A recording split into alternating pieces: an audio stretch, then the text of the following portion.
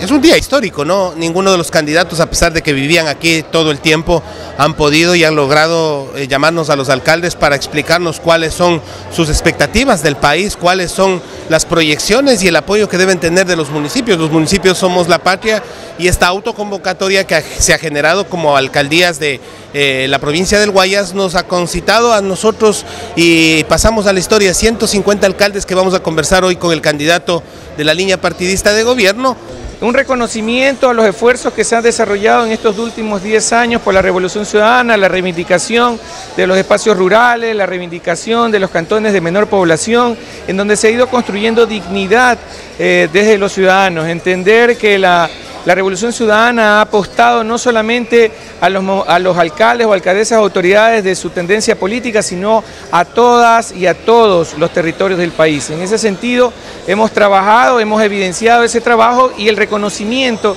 de ese trabajo se plantea en el diálogo que se vive el día de hoy en la Corporación Financiera Nacional. Supuesto, tenemos, imagínense, el puerto artesanal, uno de los mejores del país, de Latinoamérica.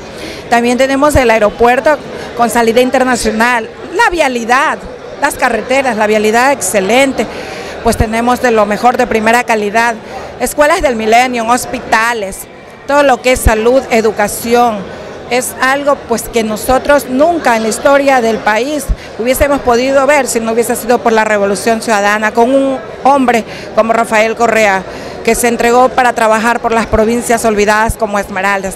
También ha habido un apoyo súper importante para los gobiernos seccionales. Por ejemplo, nosotros tenemos un enorme reto como región. Todavía la Amazonía sigue siendo la región con mayores índices de pobreza por necesidades básicas insatisfechas.